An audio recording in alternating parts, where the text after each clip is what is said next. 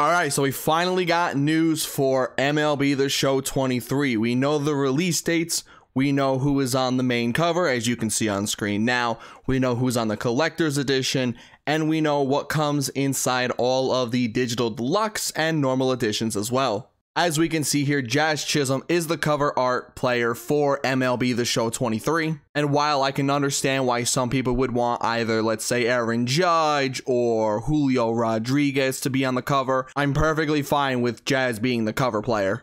And if we're being completely honest, I don't think it necessarily matters too much who is on this cover because of who we got on the collector's edition. Whether you love or hate him, we got Derek Jeter finally back in MLB The Show. Jeter was on the Jimmy Fallon show to basically sit there and talk for a bit, and then just a little bit after it hit February 2nd, they talked about the game and announced that Jeter was, of course, coming back and was the cover art for the collector's edition. I'm super stoked to finally be able to use Jeter in MLB The Show again. There were two specific things that I wanted before we get MLB The Show 23. This was one of them. If I can get the other one, which is a little bit of like a revamp in franchise, then I might love this game. But I, I really want to see what they do with franchise. I'll probably still get it either way because I plan on making content for it. But if it ends up giving us that good franchise, I'll be really happy.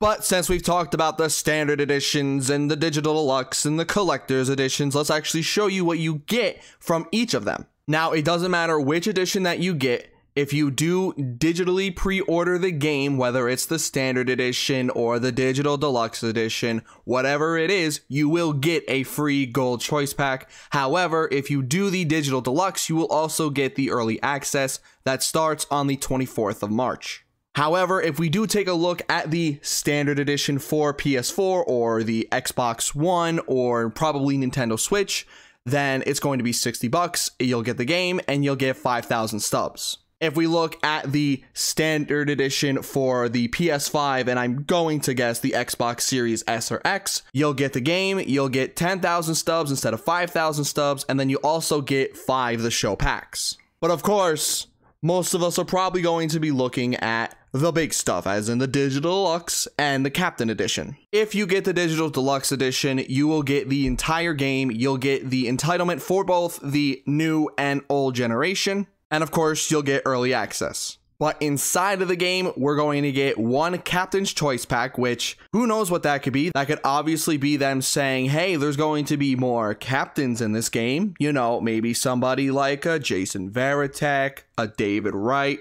Who knows? Then there will be a to be announced themed choice pack and a themed uniform choice pack. Unlike in years prior, they usually had like those themed packs already decided, but I guess they don't have that exact pack decided yet, or they know what they're going to do, but they're going to hold off on announcing exactly what it is until maybe we get into their uh, development streams. You'll get 5 gold choice packs, 20 the show packs, a ball player pack, double daily rewards, and 30,000 stubs. So if you're big on Diamond Dynasty, this is the place. If you're big on Diamond Dynasty, this is the way to start. The Captain Edition is more about the physical stuff. You'll get the Steelbook case, you'll get the hat, you'll get vouchers for each of the game, you'll get your early access. But if we go back to what you're going to get in the actual game, instead of 30,000 stubs, you'll get 10,000 stubs. Instead of 20 the show packs, you'll get 5. Instead of 5 gold choice, you'll get 2. So the Captain's Edition is more for those who want the physical things rather than the stuff that are mainly used for Diamond Dynasty.